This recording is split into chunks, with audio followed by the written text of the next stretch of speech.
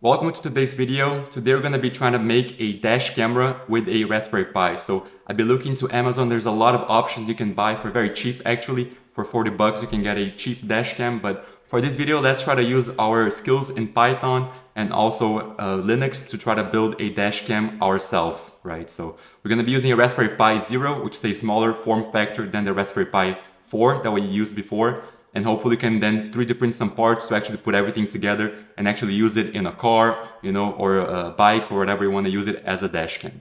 In terms of hardware, we're going to be using a Raspberry Pi Zero, of course, a Raspberry Pi camera that uses the CSI interface. We're going to be using a 3D printed part just to mount everything and a USB stick. Here's what the final assembly looked like. You can see here we use the 3D printed part as some sort of support for the RPi camera and you can see that the ribbon cable is connected to the camera and the Raspberry Pi. I noticed here there was a problem with the cables because the USB stick wouldn't fit together with the charging cable, so I had to find a solution for that, and that was for me to find this adapter here that converts uh, this USB, a micro USB, uh, male to female, and then I could connect both the charging cable as well as the USB stick.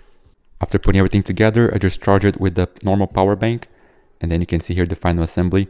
We still need to build a case for this, but for this week's video, that should be enough. So let's look now into VS Code here and see how we set up everything.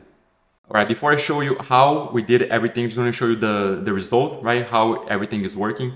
And the first thing I want to show you here is by running this df-h command on the Raspberry Pi. And here, this shows you all of your file systems and how they're mounted on your Raspberry Pi. So for example, we have the SD card with the operating system and it was partitioned into a lot of different parts, right? And it shows you here those parts and where they're mounted on. So which folders you can access those partitions. And the same thing happens for a USB stick. So for our dashcam, we're gonna be saving all of our files to a USB stick that we can later then put it into a computer and try to retrieve all those videos. But here we have a USB stick that's connected to the Raspberry Pi it's listed here as this slash dev slash sdb1 device.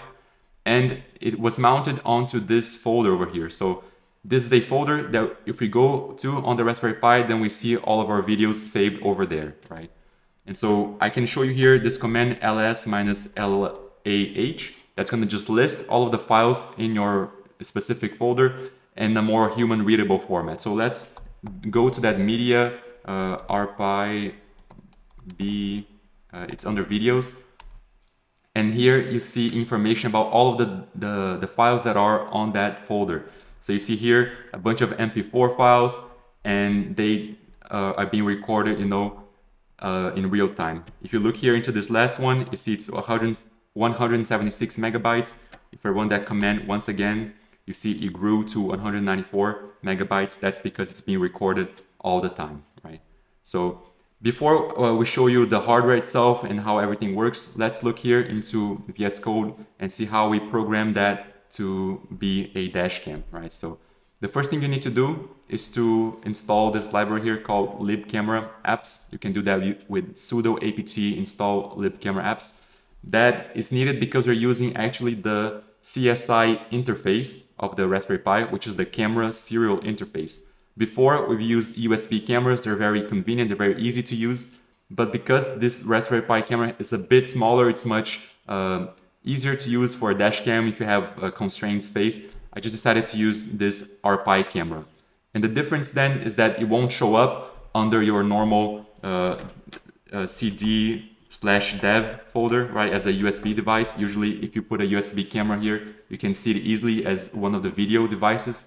But with this ribbon connector, you know, it won't show up like that. You need special drivers for that. And so that's why we need to install this libcamera apps library over here. Now, the advantage is that we, can, we then have higher bandwidth because we're using a special interface that's directly connected to the uh, Raspberry Pi's GPU. And the downside is that we then need this special library and it's not as easy to use like a USB camera. And for that reason, then we're going to be using Python again but Python is just going to be used as a scripting language to actually run uh, Linux sub-processes. So we can use this libcamera uh, application as a command line application here. We can just type libcamera to take videos and uh, take photos, for example. And we're going to be using Python then to do the same, to run these uh, Linux commands to actually take pictures for us or to take videos for us, right? So let me describe you here quickly, you know, how this Python script works and how we can use it to create this dash cam. So first of all here, we're just gonna have one function and I try to make this as concise as possible to uh, make it easier to understand. But we're gonna have one while loop here that's always running forever. And we're gonna be calling this function over here. We're gonna be passing the path of our USB drive, right? The ones that, that we connected to Raspberry Pi, it was mounted to this location, and then a duration that we want for the videos. We specify here uh, five minutes, that's 300 seconds. Uh, here's in milliseconds, that's why there's so many zeros. But we can specify pretty much whichever duration you want. And then we're gonna be just uh, giving one second interval between the end of one video and the start of the next one, right? So let's now look into this function here and see how exactly uh, how, how it works. So the first thing we do here is to actually try to see if that USB stick is connected or not. If it is not, so if it is not a directory in your Raspberry Pi, you just uh, give a, error message, you sleep sleep for five seconds, and then you return, right? So it's gonna be keep trying um, every five seconds, gonna take a break, and then keep trying until there's a USB stick connected. But assuming you have the USB stick there and everything is fine, then we can proceed here. Here we're just gonna get a timestamp, and we're gonna then format to this specific uh, format here, which is year, month, day, and then hour, minute, second, right? That's just going to be used to specify the, the file name that we want to save it to. So here's how we specify We have the output file. We're going to be joining then the folder, the output folder that we want. That's our USB stick folder, followed by this video underscore the timestamp dot H264. So this is a video format that comes when you use this libcamera app. And it's fine. I mean, you can play this using VLC, some media players, but to make it more convenient, you know, if you want to just uh, plug the stick into your laptop and just watch the video, maybe it's better if you convert this later to MP4, but I'll show you how we do that later, right? And here's where the, the magic happens. So we have here a command. It's a list of strings, but we're going to be using this uh, sub process library here, which is a Python library that allows you to run sub processes on Linux. So it allows you to run those command line interface, you know, uh, commands in Python. So just uh, creating this new sub process with a specific uh, command that you want. In our case, we're going to be running this command over here. It's called libcamera uh, minus vid. We're going to specify here a duration, which was the 300 seconds we defined earlier. And here uh, resolution, right? So we define here full HD, so 1920 by 1080 pixels. And finally here, the output file name that we define here with this timestamp. And this is equivalent, you know, if I just go to my uh, Raspberry Pi here terminal, I can just type, you know, libcamera uh, minus vid, blah, blah, blah, all the, the, the, other things, and then it should do the same thing. So we're just using Python really to run these Linux commands, right? So we're gonna uh, try to run that into this try except block and then if there's any error, we just return, wait five seconds and try again, right?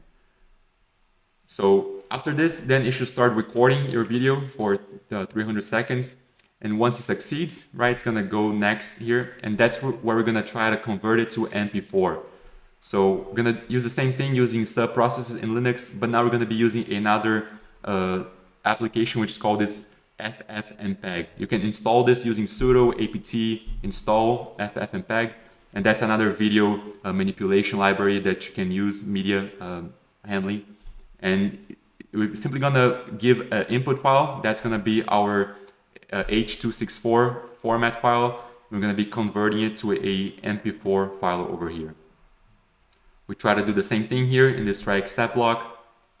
And if the conversion was successful, we now have a MP4 and the old file, the H264. And just to save some space here, we try to delete the old one with again this uh, process command running the remove command. So just remove the old file, right? And once it does here, it just uh, returns and then we are back here and we can keep uh, running this loop forever with this one second interval in between. So your dash cam then is going to be recording your videos, right? Converting them to MP4 and every five minutes is going to uh, repeat the whole process, creating five minute long video files. Now, there's one thing here that we need to consider is that the USB stick has limited storage space, right? So it has 128 gigabytes, the one that I'm using. And eventually we're gonna run out of space. If we just keep writing and writing and writing to the USB stick, eventually we're gonna need to delete some older files. And for that, I'm using this bash script here. It looks very cryptic at first. These bash scripts are very uh, difficult to understand sometimes, but it's really simple what I'm doing over here. It's just a script that's gonna delete your oldest files so that you have at most, you know, uh, in this case, 300 files. So I specify the folder where all my videos are. Again, that's the USB stick path, right, the folder. And here I define how many files I want. In this case, it's arbitrary as long as it's less than what you can actually store, uh, it's fine. But here I set 300 five minute videos, right? So that's gonna define now how long back you're storing your videos. And we're gonna run then the script to remove everything, all the files that exceed then this 300 uh, number, right? So let's quickly look, look over here how it works. But we're pretty much here uh, getting a list of all the files in that folder sorted by time, right? So we run this command here in bash just to get the list of files over there and sort them by the modification time. Next, we're gonna see how many of those files exceed the amount of files that we selected. So we wanted 300. So we're gonna see, uh, given the length, you know, of the of the that folder, how many files are there? Uh, is it greater than the 300 that we defined? So is the number of files in that folder greater than uh, 300? If it is, then we need to calculate how many files we need to remove. That's simply done by subtracting how many files are in that folder by the max that you set, and then removing that amount of files. And that's done here in this for loop. So uh, for how many uh, how many files we are that are, above 300, we're gonna then be removing them uh, with the remove command here, right? So that's pretty much what it does. And if you run this, it's gonna then be deleting a few files, but the question is how can we run this periodically, right? Because if you just run this once, uh, that's not enough. And so for that, we're gonna be using a cron job. Uh, I've done videos before as well on how cron tab and cron jobs work, but pretty much you can type cron tab minus E it's going to open up a editor here for you and then you can define you know uh, a certain command that you want to run and how often you want to run that so in this case we're running this bash script so bash and then the file uh, rotate video.sh and this star star star star star that's the cron tab syntax that lets you define how often you want to do something right so in this case uh, this is default to every one minute you can research how, how exactly the syntax works, but this is just saying every one minute, run this bash script and then uh, clean up that folder so there's only at most 300 files. That's all that this is doing. You can save this and it should already be working. Okay, and now the last thing that I want to show you is that this Python script that we created, right? It works if you run this, you know, you got to go to your terminal and run Python 3 and whatever your script is. And then if you keep this open, it's going to be running. But to make things easier, you know, it's better if we run that as a systemd service. And I've done also videos on how you can set up systemd services in your Raspberry Pi. But pretty much we're gonna be then setting that as a service. So whenever we turn on the Pi, we plug into power, this script's gonna be running automatically. It's gonna start up and record just like a dash cam should, right? So as long as there's power to your dash cam, it's always recording. So you don't have to worry about like starting the, the recording process. And that's done here with the service file. I've also done videos that I'm going to leave the link here in the description if you want to learn how to set, set it up. But the important part here is defining then uh, what command you want to execute for the service. And here's going to be Python 3 and then the path to our Python file, right? And a few yeah, settings here you can set up. So for example, restart. If something goes wrong, you try to restart always. Uh, which user you want it to run it as. Uh, yeah, and also important here is the name of the file itself. So recorder.service. So your service is going to be named recorder, right? Just Simply by the name of the this file over here. Once this file is created, we just got to copy to a specific location on the Raspberry Pi. And that's done with this installation script here that I created. But it's simply just copying that file to slash etc slash systemd slash system. Then we're to be running systemctl daemon reload to reload all the services We're to be enabling the recorder and then starting finally, right? So that should then create everything that you need. and then your dash cam now should be working already. So that's uh, pretty much you know what I had. Like this is recording already. One one test that we can do is to actually get the USB stick from the Raspberry Pi and see if it's actually working, right? So let's do that now. Right, so I have the USB stick over here that I got from the Raspberry Pi. Again, this was recording always, right? So I just took it from the Raspberry Pi and let's see if it's working if we plug in into our laptop. So I'm gonna do that right now. I'm gonna plug it in.